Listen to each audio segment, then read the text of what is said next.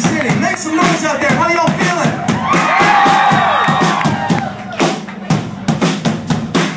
This next song is one of the first songs that we ever wrote together as a band.